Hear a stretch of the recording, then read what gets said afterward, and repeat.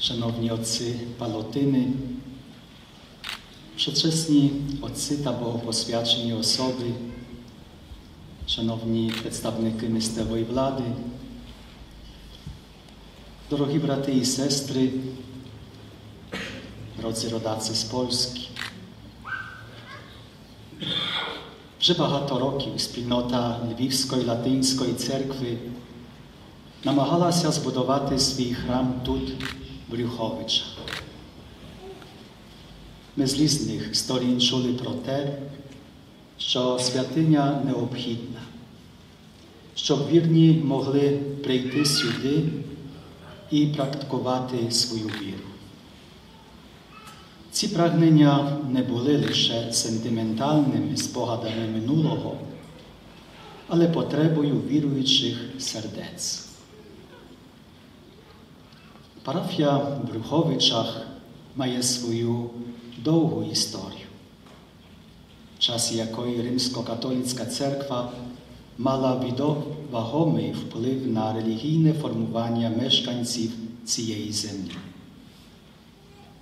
Про це свідчить, пара, свідчить парафіальний костел, в якому тепер молиться греко-католицька спільнота.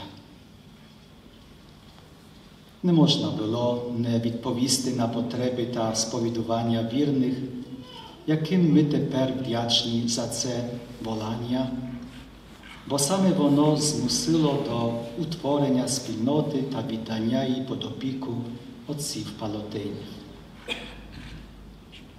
Через відсутність парафіального храму його роль на початку виконувала монастирська каплиця, але дуже швидко виявилося, що таке розв'язання було недостатнім і не задовольняло потреб спільноти.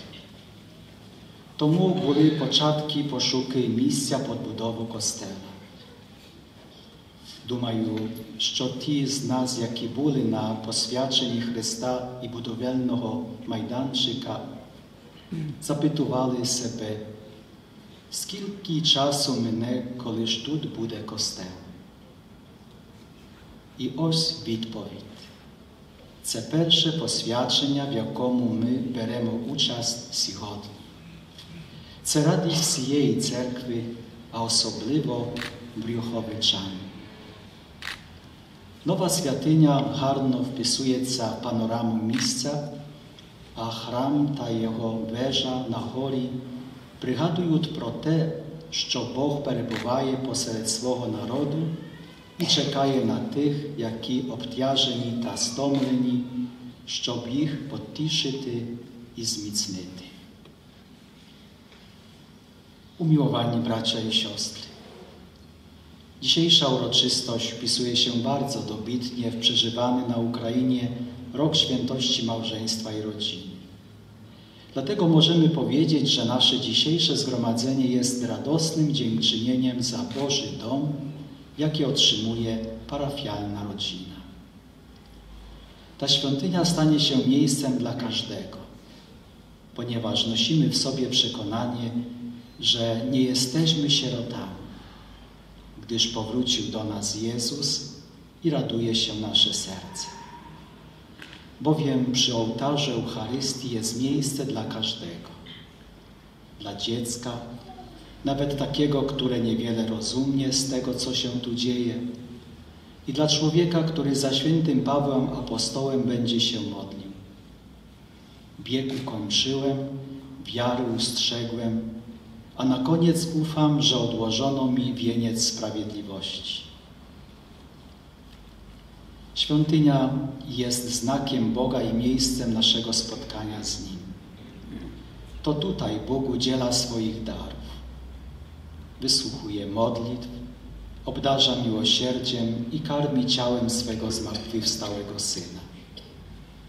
Ta świątynia, jak każda inna, jest znakiem naszej wiary i naszym wspólnym domem, gdzie spotykamy się, by wyznać wiarę i odnaleźć w sobie Kościół, czyli żywą świątynię Boga. Sędziwy kapłan wspomniał podczas spotkania.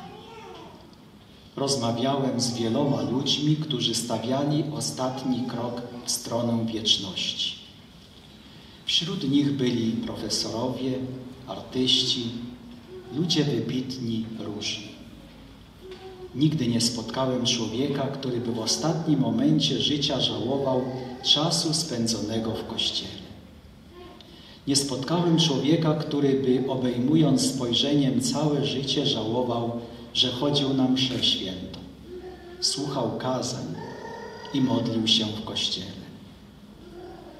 Przeciwnie, często moi rozmówcy żałowali, że za mało czasu spędzili w kościele. Zatem zróbmy wiele, aby kiedyś nie żałować, że za mało czasu spędziliśmy w kościele.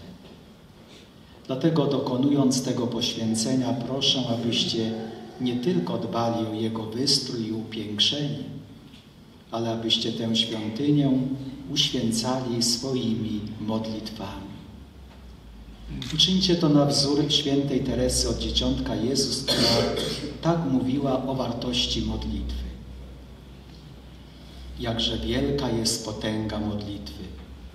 Dla mnie modlitwa jest wzniesieniem serca, prostym wejrzeniem ku niebu, okrzykiem wdzięczności i miłości zarówno w cierpieniu, jak i w radości. Jest to coś wielkiego, nadprzyrodzonego, co rozrzewnia moją duszę i jednoczy mnie z Jezusem. Bardzo kocham wspólne modlitwy, bo Jezus obiecał być pośród tych, którzy się gromadzą w imię Jego. Улюблені брати і сестри, сьогодні в цей радісний день хочу подякувати Господу Богу за благословіння в цій справі, адже без нього ми не могли би зробити нічого. Дякую отцям Палотина, а особливо Отцу Петру за його зусилля і старання в цьому ділі людей доброї волі, які духовно і матеріально допомагають будові. Дякую гостям та місцевій спільноті парафіян. Радий бачити тут духовенство архідієцезії та представників різних черенечих спільнот. Ісус, Господь Ісус сказав, носіть тригари один одного, тобто допомагайте одні другим, підтримуйте і потішайте. Сьогодні ці слова оживають в цих свіжих мурах, бо вони були зведені завдяки людям доброї волі, яких нехай Господь обдарує своїм миром і благословінням. Амінь. Bồ Tát Nhà Giảng